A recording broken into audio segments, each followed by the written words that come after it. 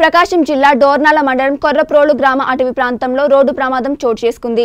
ఈ ప్రమాదంలో ముగ్గురు వ్యక్తులకు తీవ్ర గాయాలయ్యాయి. దైవ దర్శనార్థం పెద్ద మంతనాల వెళ్ళి అమ్మవారి దర్శనానంతరం ద్విచక్ర వాహనంపై తిరుగు ప్రయాణమై వస్తుండగా గుర్తు తెలియని వాహనం ఢీకొనడంతో తీవ్రంగా గాయపడ్డారు. గాయపడిన ముగ్గురిని పెద్ద డోర్నాలలోని ప్రభుత్వ వైద్యశాలకు తరలించారు. పెద్ద డోర్నాల పోలీసులు కేసు నమోదు చేసుకుని దర్యాప్తు చేస్తున్నారు.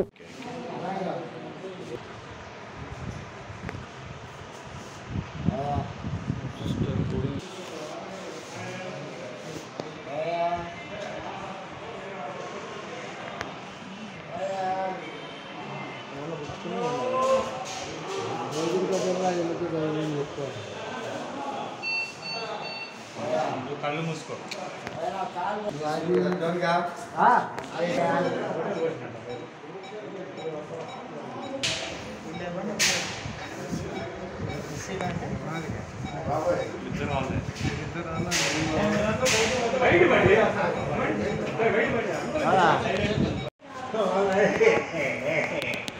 Mama. của ba của em à nghe điều ra hầm à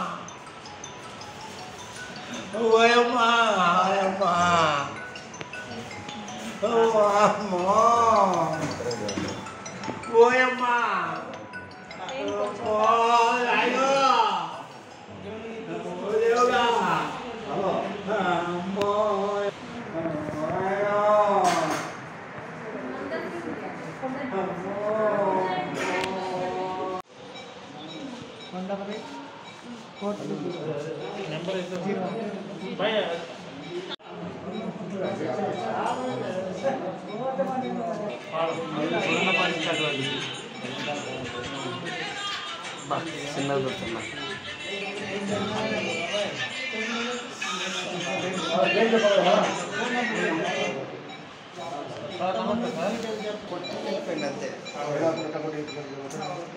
Costa, vem presente, sabe?